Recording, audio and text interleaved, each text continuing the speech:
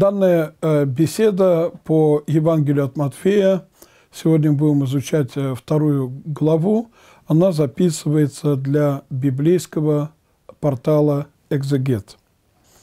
И мы приступаем к изучению второй главы, которая начинается словами «Когда же Иисус родился в Вифлееме Иудейском, в дни царя Ирода пришли в Иерусалим волхвы с востока и говорят, где родившийся царь Иудейский, ибо мы видели звезду его на востоке и пришли поклониться ему». И ниже, услышав это, Ирод царь встревожился, и весь Иерусалим с ним. Казалось бы, весть о том, что должен в этот мир прийти э, Мессия, она должна была вдохновить всех иудеев. Но когда до Ирода дошла эта информация, он встревожился, и весь Иерусалим вместе с ним – потому что эти люди создали свой мир, свой порядок. И вторжение Бога в их реальность а могло это все поменять в их жизни. Особенно Ирод э, опасался, что кто-то будет покушаться на его царское достоинство. Ведь Ирод э, Великий, как он называется в истории, за то, что он э, реконструировал второй храм – а он был очень подозрительный человек. Он не был евреем, он был эдуминянин. И он понимал как бы нелегитимность своего положения, и он опасался, что кто-то может его свергнуть. И жертвами его подозрительности становились даже его ближайшие родственники, которых он уничтожал, думая, что они покушаются на его царское достоинство. Конечно, здесь э, поражает то, что в Иерусалим приходят волхвы с Востока. Ну, представьте себе, если бы в Москве появились бы какие-нибудь э, брахманы, кришнаиты и сказали бы, мы видели э, знамения на Востоке, вот пришли в Москву что-то узнать. С каким бы скептицизмом к ним отнеслись бы. И, конечно же, евреи того времени тоже не могли понять, а с чем это связано – что хотят сказать эти люди, э, которые не представляют традицию Израиля? И что за звезда э, привела их в святой город? Блаженный Феофилакт объясняет, что под видом звезды по небу перемещался ангел Божий. И э, Феофилакт э, объясняет, что звезды так по небу не ходят, как Вифлеемская звезда. То она движется, то останавливается, то меняет направление, то приближается и так далее. То есть это было чудесное явление ангелов этим языческим волхвам за какие-то их личные нравственные качества. Библия не отказывает даже язычникам а, в нравственных качествах, когда апостол Павел а, в послании к римлянам пишет, что язычники, не имея закона, по природе законное делая, тем самым обнаруживают, что закон Божий написан в их сердцах, о чем свидетельствует совесть их. Итак, услышав это, Ирод царь встревожился, и весь Иерусалим с ним. И, собрав всех первосвященников и книжников народных, спрашивал у них, где должно родиться Христу, они же сказали Вифлееме Иудейском, ибо так написано через пророка, «И ты, Вифлеем, земля Иудина, ничем не меньше воеводствах Иудиных, ибо из тебя произойдет вождь, который упасет народ мой Израиля». То есть книжники и первосвященники, они обращаются к пророческим текстам и указывают на Вифлеем. По-еврейски э, Вифлеем – это Бетлехем, то есть дом хлеба. И, конечно, очень э, знаменательно то, что тот колос, который евхаристически напитал всю Вселенную своим телом и своей кровью, наш Спаситель рождается в городе, который называется Дом хлеба, Бетлехем или Вифлеем. И мы читаем о действиях Ирода. Тогда Ирод, тайно призвав волхвов, выведал от них время появления звезды.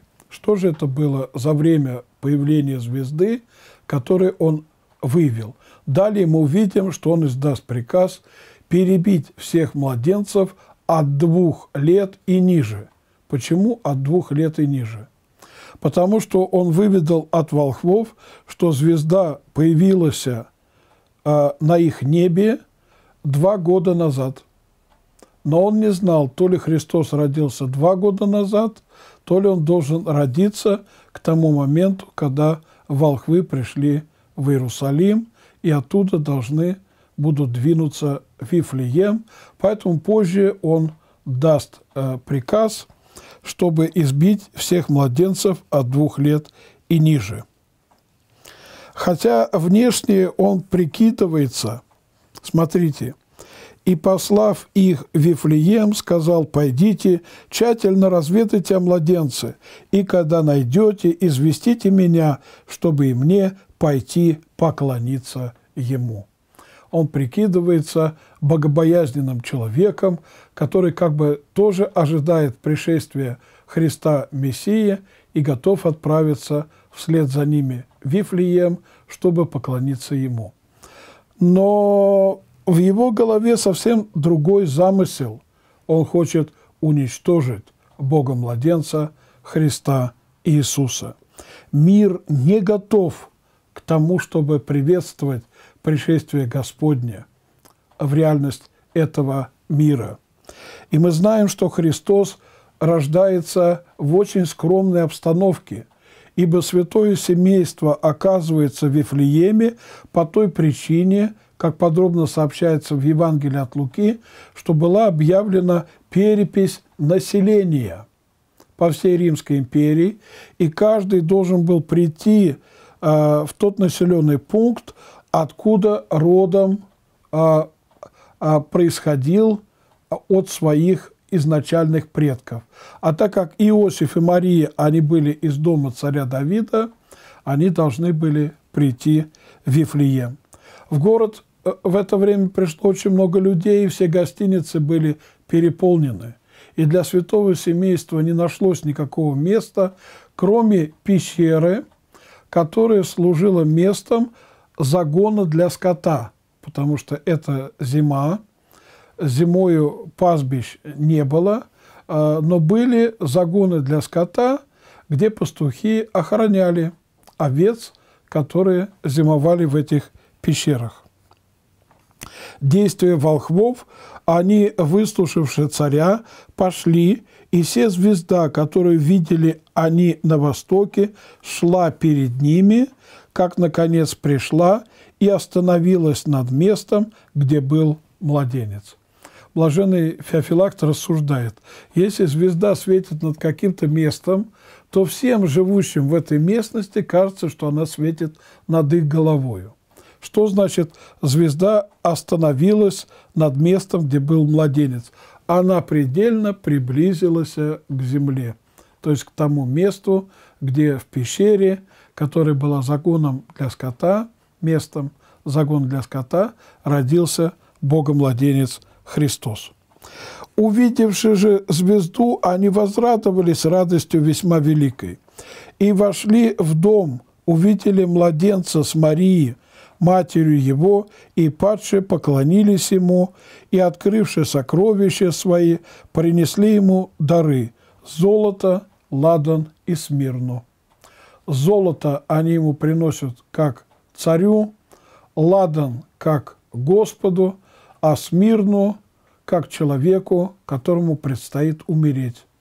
Ибо именно из смирны э, делался специальный бальзам – для натирания умершего тела э, в те времена, для бальзамации умершего человека, его тела после смерти. Таким образом, мы видим, что волхвы были посвящены э, в удивительные тайны, и сами их дары это обнаруживают. В Евангелии от Луки рассказывается о том, что э, в пещеру, где родился Христос, приходят не только волхвы, но и простые пастухи, которые рядом оберегали своих овец. И таким образом у ног Бога-младенца Христа Иисуса встречается человеческая мудрость в лице волхвов и человеческая простота в лице пастухов. И далее мы читаем – и получившие во сне откровение не возвращаться к Ироду, иным путем отошли в страну свою. То есть они возвращаются в Вавилон. Когда же они отошли, все ангел Господень является во сне Иосифу, функции которого мы уже определили, они заключались в том, что он должен был оберегать Деву Марию и Бога-младенца, и говорит, «Встань, возьми младенца и матерь его, и беги в Египет, и будь там, доколе не скажу тебе, ибо Ирод хочет искать младенца, чтобы погубить его». Он встал, взял младенца и матерь его ночью и пошел в Египет. И там был до смерти Ирода, да сбудется реченное Господом через пророка, который говорит, «Из Египта возвал я сына моего. Евангелие от Луки показывает нам, что он не сразу отправился в Египет, а какое-то время он будет находиться еще в Иерусалиме. И э, на э, сороковой день э, Бога-младенца Христа принесут в Иерусалимский храм. Затеряться в большом городе было тогда значительно проще, чем нежели э, перемещаться по дорогам э, Святой Земли – которые подвергались контролю в результате приказа Ирода. И мы читаем э, далее. Тогда Ирод, увидев себя осмеянным волхвами, весьма разгневался и послал избить всех младенцев в Вифлееме и во всех пределах его от двух лет и ниже по времени, который выведал от волхвов. Вот эти два года, но Ирод не был э, уверен, то ли Христос родился два года назад, то ли к моменту прихода в Иерусалим волхвов, поэтому он повелел избить всех от двух лет и ниже. И э, выше мы с вами уже прочитали и там был до смерти Ирода, то есть Иосиф со святым семейством, да сбудется реченное Господом через пророка, который говорит, из Египта возвал я сына моего. Это пророчество Осия, 11 глава, 1 стих. То есть пророки, они э, предсказали то, что Господь явится в Египте. Но возвращаемся э, к тексту далее – хронологическом порядке, 17 стих, «Тогда сбылось реченное через пророка, который говорит, глаз в раме слышен, плач и рыдание, и воп великий, Рахиль плачет о детях своих и не хочет утешиться, ибо их нет». То есть пророк Иеремия предсказал, что будет избиение а, младенцев и плач а, великий в этой местности. Рахиль, плачущая о детях своих. И действительно, между Вифлеемом и Иерусалимом очень незначительное э, расстояние, и там находится гробница Рахили, а любимой жены патриарха Иакова, то есть где-то до пределов этой границы осуществлялось избиение младенцев – по смерти же Ирода ангел Господень во сне является Иосифу в Египте и говорит, «Встань, возьми младенца и матерь его, и иди в землю Израилеву, ибо умерли искавшие души младенца». Он встал, взял младенца и матерь его, и пришел в землю Израилеву.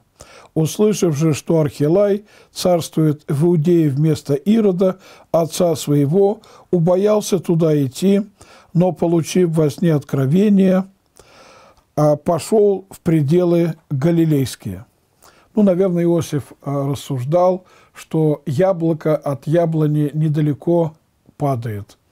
И если а, Ирода Великого сменяет его сын, то это тоже небезопасно для святого семейства. И последний э, стих второй главы. «И пришед поселился в городе, называемом Назарет. Да сбудется реченное через пророков, что он Назареем наречется». Вот здесь не очень понятно, почему сказано, что это пророчество было через пророков. Хотя э, речь идет об авторе книги «Судей», 13 глава, 5 стих. И какое отношение книга «Судей» может иметь пророческим текстам? Дело в том, что в еврейской традиции того времени Священное Писание делилось на три раздела – закон, пророки и Писание. Закон Тора, пророки Набиим, Писание Кетубим. Поэтому Матфей говорит в соответствии с традицией того времени, как у иудеев сохраняется и до сих пор, да сбудется реченное через пророков, имеется в виду второй раздел Танаха, то есть Ветхого Завета, что он Назареем наречется, а эти слова, то есть это пророчество, мы находим в книге Судей, которая в еврейской традиции относилась к разделу «Ранние пророки». То есть она считалась тоже пророческая книга, хотя теперь она более выглядит как историческая книга. На эту деталь мы обратили внимание, чтобы подчеркнуть точность изложения евангелиста Матфея, которые соответствуют историческим реалиям того времени. Если мы будем живы, Господь позволит, то в следующий раз мы продолжим изучение Евангелия от Матфея.